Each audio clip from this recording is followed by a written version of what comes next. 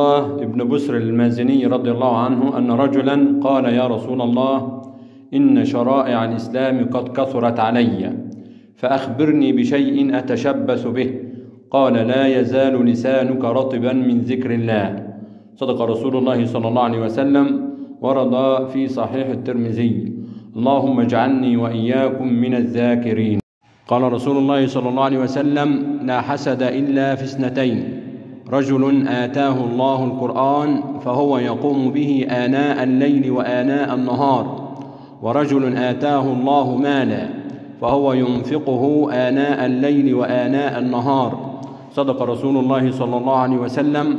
اللهم اجعلنا ممن يقومون بالقرآن ويعلمونه. قال رسول الله صلى الله عليه وسلم لا تزول قدم عبد يوم القيامة حتى يسأل عن عمره فيما أفناه. وعن علمه فيما فعل وعن ماله من أين اكتسبه وفيما أنفقه وعن جسمه فيما أبلاه. صدق رسول الله صلى الله عليه وسلم رواه الترمذي.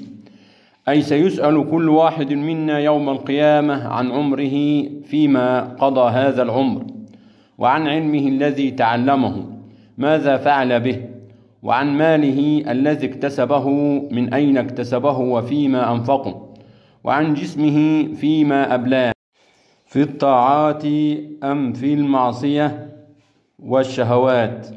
لذلك ينبغي على كل واحد منا أن يستخدم ماله وعمره وجسمه في طاعة الله سبحانه وتعالى وأن يبتعد عن معصية الله لأن الله سيسألنا عن كل ذلك.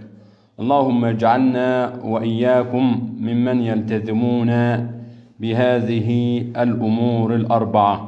قال رسول الله صلى الله عليه وسلم أطفال المؤمنين في جبل في الجنة يكفلهم إبراهيم وسارة حتى يردهم إلى آبائهم يوم القيامة.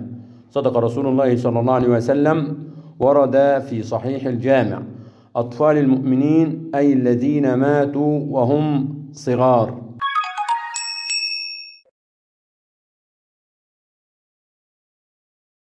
ما هي الفتنة التي قال عنها الرسول صلى الله عليه وسلم؟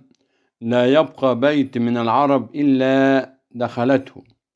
جاء في الحديث الصحيح عن النبي صلى الله عليه وسلم قال ثم فتنة لا يبقى بيت من العرب إلا دخلته. قال الشيخ صالح الفوزان فتنة عامة تدخل البيوت والله أعلم أنها وسائل الإعلام الآن ووسائل الإنترنت. تنقل هذه الشرور تدخلها على الناس في كل بيوتها. أنت ما رحت إليها لكن هي دخلت عليك.